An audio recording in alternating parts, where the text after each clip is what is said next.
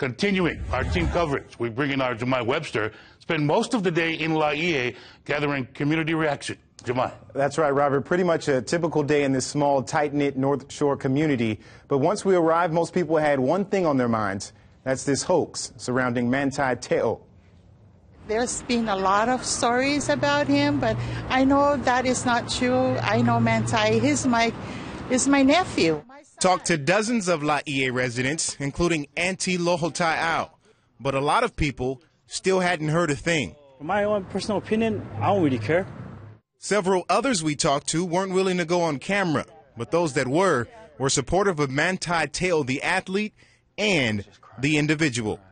Well, I just think it's an unfortunate thing. I think it's an unfortunate event for the family. Uh, you know, Manti means a lot to this uh, community. We're proud of him, we love him, and uh, we appreciate that, uh, you know, all that he's meant to our the, the youth of uh, Laie and the youth of the North Shore. The community will always support him, no matter what.